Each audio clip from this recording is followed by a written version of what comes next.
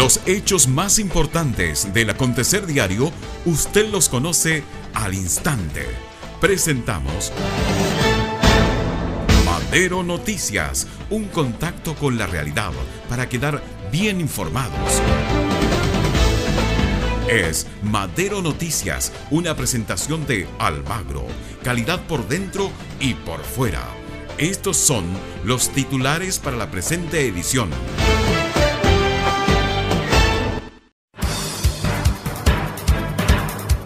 Esta mañana se lanzó el Grupo Especial de Bienes Robados de la PDI. Dakar 2013 pasará por cinco ciudades del país, pero no contemplará Antofagasta. Servicio de Salud descarta casos de influenza en la región. Hola, ¿qué tal? Bienvenidos a un nuevo informativo de Madero Noticias. Comenzamos las informaciones para contarles que esta mañana se dio comienzo al grupo especializado de objetos robados de la Policía de Investigaciones, que tiene como objetivo reducir este tipo de delitos. Además, se hizo un llamado a no comprar objetos robados. El informe es de la periodista Vilma Helves. Esta mañana en Antofagasta se hizo el lanzamiento oficial a toda la comunidad, la conformación y funcionamiento del Grupo Especial de Bienes Robados Gebro de la PDI, que tiene como objetivo reducir los mercados de bienes robados y trabaja en la recuperación e intervención de estos. El modo de operación de Gebro es a la inversa, partiendo desde la especie robada hasta la ubicación del delincuente. Esto porque la PDI está facultada para constatar los bienes robados en las casas de compraventa y desde allí ubicar al delincuente.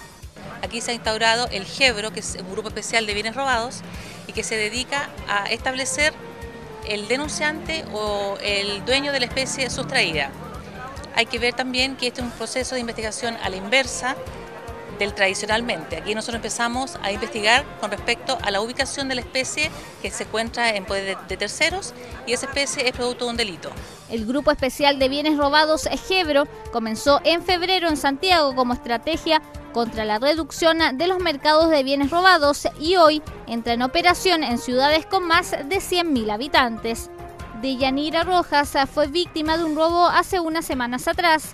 No obstante, a través de Gebro pudo recuperar sus bienes, que consistían en un computador, un televisor y un reproductor de DVD. En este trayecto de la UNA me, fueron a avisar que me habían sacado las cosas de mi casa y gracias a la Policía de Investigaciones que, que me fue a avisar, recuperar las cosas porque los sospechosos las, las tenían y gracias a ello pude recuperar mis cosas y me fui al tiro a hacer la demanda para que puedan para que puedan pagar lo que hicieron, porque es un daño que le hacen a, las, a, mí me hicieron un daño en sacarme las cosas de mi casa. Además se entregó información necesaria a todas las personas para que conozcan este tipo de delitos conocidos como receptación y no fomente la compra de productos y objetos robados, ya que también estarían participando del delito.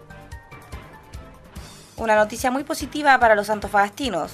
Pasando a otras informaciones, Dakar 2013 recorrerá cinco ciudades de Chile. Sin embargo, Antofagasta no está dentro de la ruta, que se realizará entre el 5 y 20 de enero. El periodista Pablo Guerrero nos informa al respecto. Arica, Calama, Copiapó, La Serena y Santiago serán las ciudades donde pasará el Dakar 2013. Así lo confirmó la empresa organizadora del certamen, Amauri Sport Organization, junto a la Subsecretaría de Deportes. El evento tuerca más exigente del mundo se desarrollará del 5 al 20 de enero de 2013, por quinta vez en Sudamérica. El director de la empresa organizadora del rally, Etienne Lavín, se refirió al paso del Dakar por Chile. Estamos muy, realmente muy orgullosos y muy contentos de organizar la mitad de la próxima edición aquí en, en Santiago de Chile. Eh, gustamos mucho la idea de terminar en, eh, la ciudad, la capital de, Chile. Es un placer y sabemos que podemos eh, esperar un nivel de organización muy alto. En la oportunidad también se confirmó que una parte de la última etapa deportiva incluirá una sexta ciudad en la quinta región, la que se conocerá cuando se defina el trazado de la carrera de acuerdo a criterios deportivos. Un dato amargo es la omisión de la ciudad de Antofagasta en este evento, lo que ha causado molestias entre la comunidad. Fome, porque nosotros siempre esperamos el rally, pues, uno se va para allá por Parroca Roja y espera pasar los autos, pero Creo yo que está mal porque de cierto modo fomenta el turismo igual de, de acá de Antofagasta. Y ya al no pasar, como que lo. No sé, le quita protagonismo. Lamentable porque eso nos trae muchas consecuencias, sobre todo para la gente que es fanática de, de las tuercas y esperemos que, que haya alguna nueva propuesta, pero siempre la gente que es fanática de las tuercas está pendiente de eso y también afectaría un poco al turismo, sobre todo a la gente del Dakar. El team del Dakar es, es bastante fuerte, entonces los hoteles se irían en baja, los restaurantes y todo ese tipo de cosas. Y... La directora subrogante del Instituto Nacional de Deportes de Antofagasta, Marcela Enríquez, también conversó de este tema, mencionando que el organismo no tiene ninguna injerencia en las rutas del Dakar. Sí, la verdad que a nosotros nos encantaría que todos los años Antofagasta fuese sede, pero esto no, depende de nosotros como IND, sino que es una comisión, la comisión organizadora de este evento internacional que es ASO. Ellos determinan, de acuerdo a, todo ya lo que han vivido años anteriores, las experiencias, las rutas, los estudios que hacen el análisis, determinan efectivamente cuáles van a ser los recorridos definitivos. La directiva finalizó señalando que de todas maneras la región será beneficiada por este evento deportivo, ya que Calama será escenario por segundo año consecutivo del Dakar. El tramo que incluye Calama será el sexto del recorrido y llegará a la ciudad el 10 de enero de 2013. Pasando a otras informaciones, la línea de taxi colectivos Rocalínea 211 fue la ganadora del proyecto Iniciativa de Desarrollo de Mercado de Cercotec. Los ganadores de este concurso implementarán un sistema de GPS en sus vehículos. El informe de la periodista Vilma Helves. La línea de taxis colectivos Roca Línea 211 fue la empresa ganadora del proyecto presentado en 2011 dentro del programa Iniciativas de Desarrollo de Mercado IDM de Cercotec. Esto permitirá que la empresa implemente en sus vehículos un moderno sistema de GPS con el que optimizarán sus servicios, entregándole más seguridad a sus clientes. Para nosotros el beneficio fundamental ha sido la parte de seguridad, seguridad para los pasajeros eh, mejor eh, control de nuestra flota. Eh, eso nos permite también un mejor ingreso a nosotros, que es lo que busca Cercote, de que los microempresarios podamos desarrollarlo a través del tiempo y pienso de que es una muy buena alternativa para las demás empresas que participan en nuestro rubro. Este programa es un concurso que premia y potencia la asociatividad empresarial, que otorga a sus ganadores recursos en efectivo para apoyar a micro y o pequeños empresarios que se unen para alcanzar o conseguir mejores oportunidades. Tenemos un programa que se llama Iniciativas de Mercado, IDM, que Cercotec pone a disposición de toda la gente de la región y que vence como postulación este 30 de abril. Tiende a buscar asociaciones como este ejemplo que nosotros hemos querido traer acá enfrente a la Intendencia y dice relación con buscar sinergias entre colegas, entre colegas empresarios, generando lo que se llama no competencia, sino que competencia. Para la versión 2011 ya están abiertas las inscripciones y los interesados deben ingresar a la página web www.cercotec.cl, completar el formulario de postulación que debe ser entregado en las oficinas de Cercotec hasta el próximo lunes 30 de abril a las 18 horas. Vamos a una pausa comerciales. No se pierda de la sintonía de Madero Noticias. Gracias por su preferencia. Es Madero Noticias, una presentación de Almagro, calidad por dentro y por fuera. Madero Noticias, un contacto con la realidad. Todo un equipo de prensa trabajando para usted.